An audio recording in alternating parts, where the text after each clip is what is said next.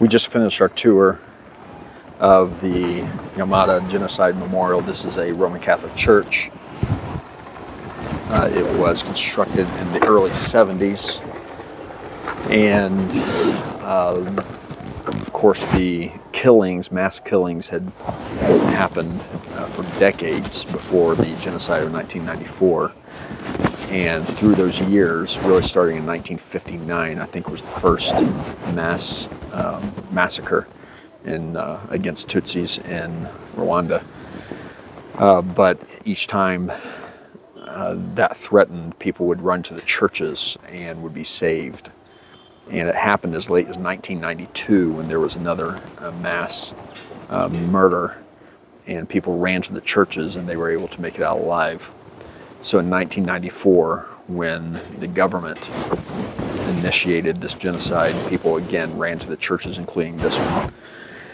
Uh, but this time, uh, there's a military outpost not far from here, and the soldiers and the militias came and uh, using grenades, machetes, guns, clubs, uh, just anything they could get their hands on, uh, slaughtered uh, over 45,000 people in this area.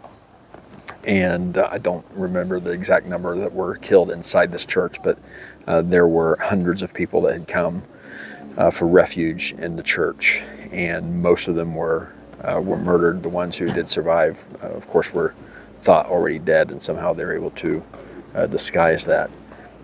In this memorial, and of course we can't take video inside, but uh, the clothes of the victims are all still there on the benches. You can feel them. Um, we went back to the mass graves behind. You can go down in them. Uh, the caskets are open, and you can see uh, the bodies. Um, just basically a collection of bones, just massing on top of each other. Um, it's just it's it's absolutely incredible, and um, sobering.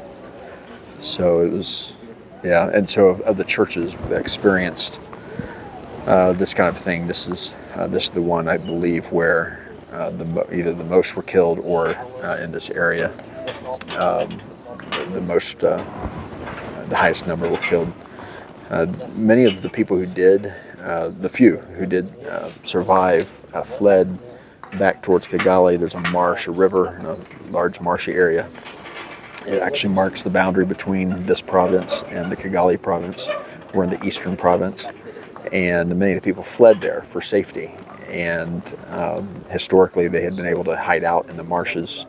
Uh, but there is actually another genocide, um, actually another genocide uh, memorial there, uh, because sometime after this, uh, the militia actually went into the marshes and slaughtered um, many, many more uh, there as well. I do not believe we are going to be stopping by there, but there are over 200 genocide memorial sites. Uh, we've been to the two main ones. This is a is one of the main ones, and then of course the one in Kigali uh, is the uh, is the is a is a big one.